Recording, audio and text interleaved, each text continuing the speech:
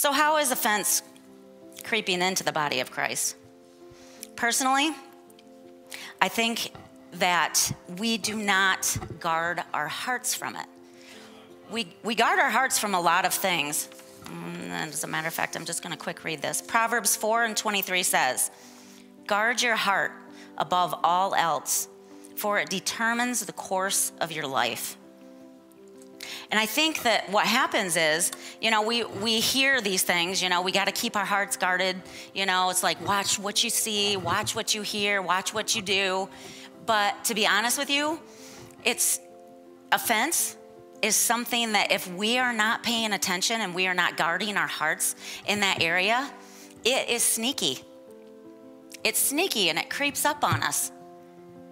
And so I, I want to just um, go over just a few things that I, I believe will help us to keep our heart guarded from being offended. Some things that we can pay attention to in our in what we're doing and what is happening in our lives. Um, one of the first things is is we need to be aware of our thought life. Where what are we thinking?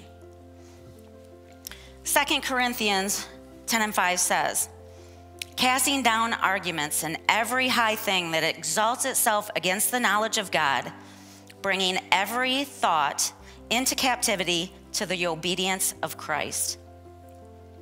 If you find that, you know, your thought life is you're focused on something you're frustrated about something, you're frustrated about something maybe somebody said, somebody did, and you're going, it, it keeps coming back to you. It go, and it's going over and over and over again in your mind, and you can't get rid of it.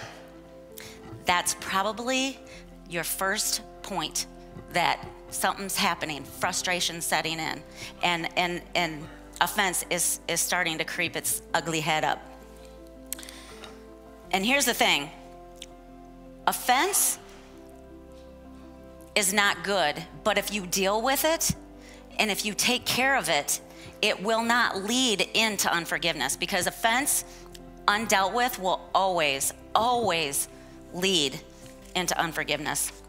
And that's where, that's like, that's danger. Right there, danger, people, danger. And every time I,